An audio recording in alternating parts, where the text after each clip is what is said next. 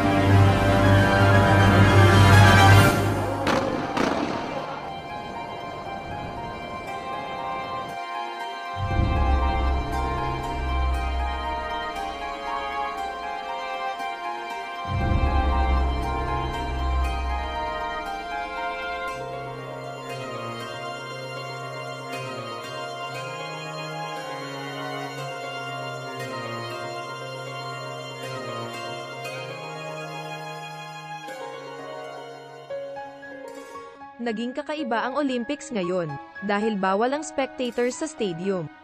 Pero, kamangha-mangha pa rin ang paghahanda na ginawa ng bansang Japan. Isa sa mga pinag-usapan ang mga medalya sa Olympics. Gawa sa mga recycled materials ang mga ito, pati ang mga uniforms, na suot ng mga torchbearers, sa torch relay. Nagsimula ang kampanya ng Tokyo 2020 para sa Medal Project noong 2017 hiningi nila na i-donate ng mga tao ang kanilang mga lumang electronic devices, tulad ng laptops at mobile phones. Sinimulan ito, sa Tokyo Metropolitan Government Building.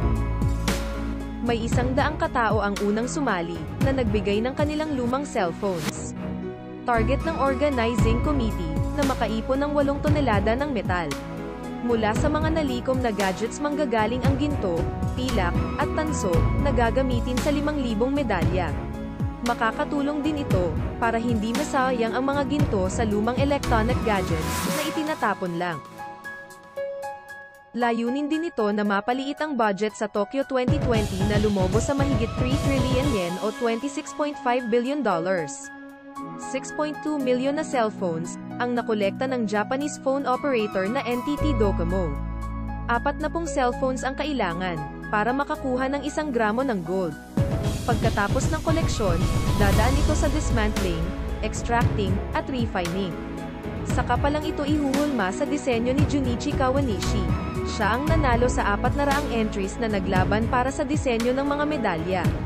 Si Junichi Kawanishi, ang representative at designer ng Science Plan. Isa rin siyang direktor sa Japan Sign Design Association, at sa USDO o Osaka Design Society. Ayon sa kanyang konsepto, ang design ay nagpapakita ng pagsisikap ng mga atleta. Mayroon rin itong myriad patterns, na simbolo ng enerhiya ng mga atleta, at ng mga sumusuporta sa kanila. Diversity ang ipinapakita ng konsepto. Makikita rin sa medalya, ang Greek goddess of victory na si Nike, na nasa harapan ng Panathinaikos State.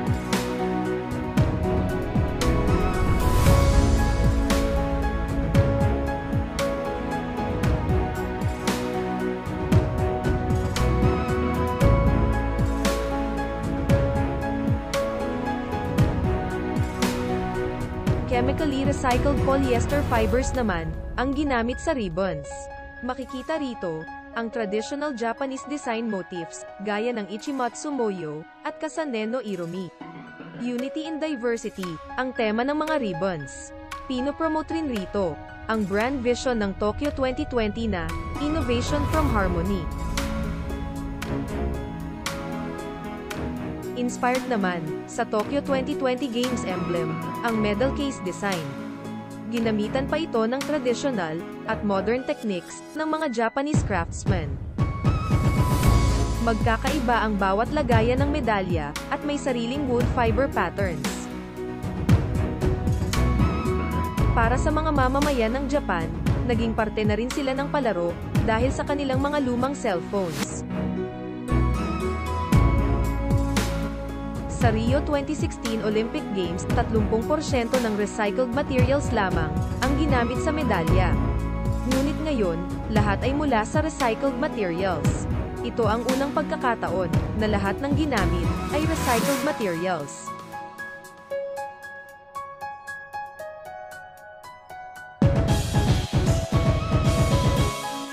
Ganon din ang mga uniforms ng torchbearers.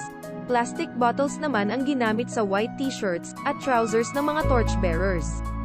Nakipag-collab ang Tokyo Olympic Association design team sa Coca-Cola.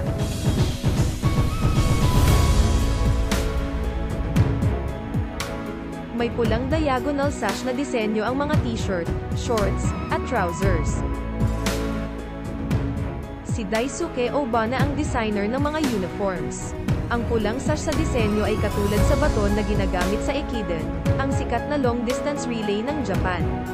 Isusuot ng 10,000 volunteers ang mga to sa torch relay.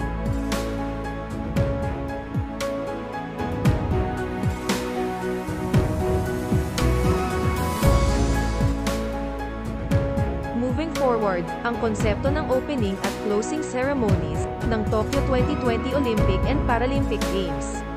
Kaugnay ito ng pag-recover ng buong mundo mula sa COVID-19 pandemic.